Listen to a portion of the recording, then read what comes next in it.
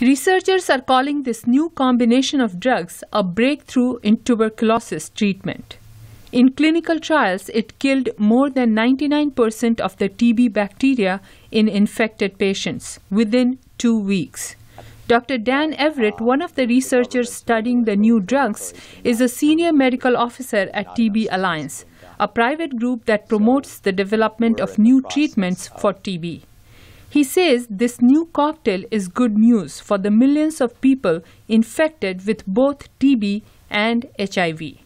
This drug regimen, we do not expect to have any worrisome interactions with the medicines used to treat HIV. The current regimen that's used commonly to treat HIV and to treat tuberculosis in patients with HIV infection causes some very troublesome and difficult interactions with the, the drugs for HIV infection. Dr. Gottfried Hirnschall directs the HIV AIDS program at the World Health Organization. He told VOA via Skype that TB and HIV co infections are so common that not treating TB in an HIV patient would be a missed opportunity to safeguard public health.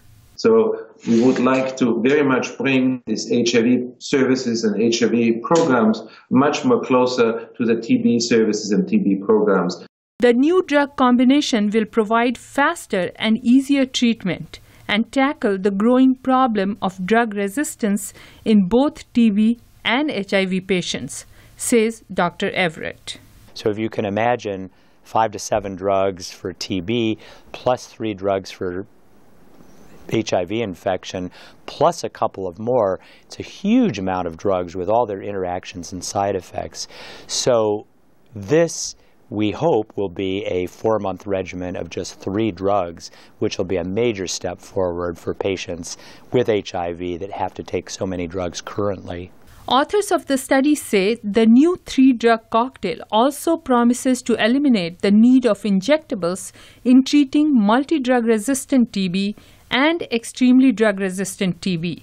And it could slash the cost of TB treatment by 90%. Vidushi Sinha, VOA News, Washington.